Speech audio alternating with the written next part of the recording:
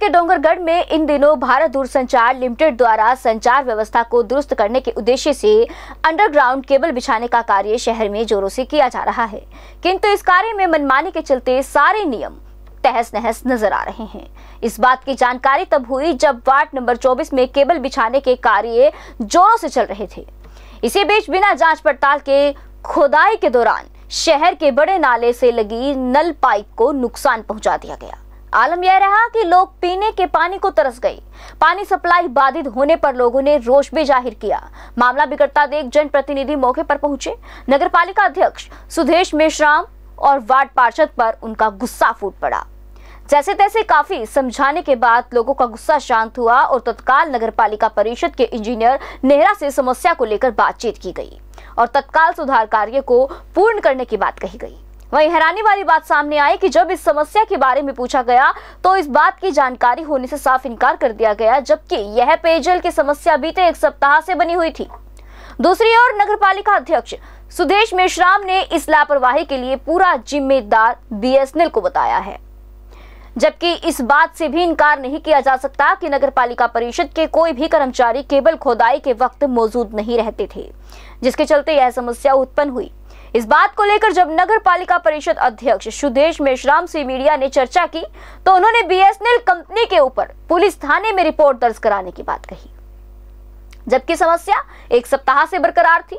उस वक्त किसी भी जनप्रतिनिधियों ने वार्ड वासियों की सूत नहीं ली। बहरहाल समझा बुझाकर लोगों को जल्द कार्य पूर्ण करने और पेयजल समस्या दूर करने की बात कहकर शांत कर दिया गया।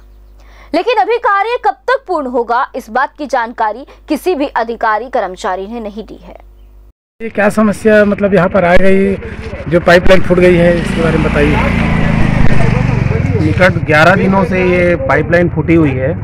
अभी तक जो जो ये बीएसएनएल कंपनी है वो अभी तक इस समस्या का निवारण नहीं किया है। वार्ड वासियों को बहुत तकलीफ़ हो रहा है जल के संबंधित। हम नगर पालिका से जो उनकी सुविधा है वार्ड को वो टंकी और इससे दे रहे हैं।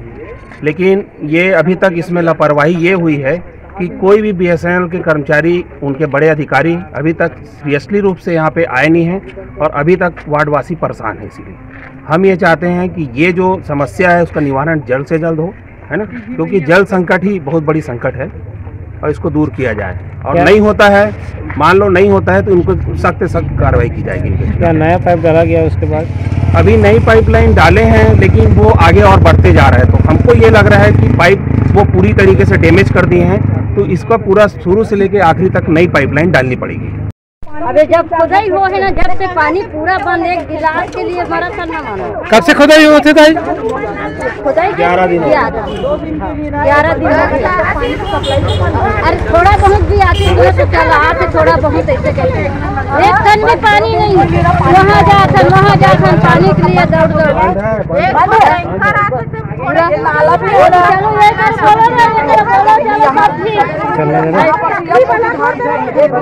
चलो हो। है मेरे को तो किसी ने बताया नहीं आपने किसी से जानकारी नहीं मिली आपको किसी पार्षद से अध्यक्ष से? नहीं नहीं। या किसी अधिकारी से किसी कर्मचारी से? किसी से जानकारी आपको एनओसी भी नहीं मिली हैं? सर आपको एनओसी कुछ आपको मालूम ही नहीं कुछ? नहीं इधर की तो कुछ जानकारी देगा कोई तो पता चलेगा ना भाई। शहर तो छोटा सा है नहीं यार है ना? और मैं उधर काम करता हूँ ग्यारह आज ग्यारह दिन हो गए सर। ग्यारह दिन में एक बार सर्वे करना नहीं है सर आप? फ़ील्ड में नहीं आते? ग्यारह दिन हो गया बोला आज आपको एक दिन मा- मालूम नहीं है आपको। ऐसा क्यों? मैं रायपुर गया था अभी हाँ। बीटी रोड का जो हड़ताल चल रहा था उसका लेने के लिए। फिर वो निविदा समिति में गया था। तो कई प्रकार के काम है जाते हैं ना भाई। अब इधर के कोई खबर दे तब समझ में जिम्मेदार कौन है?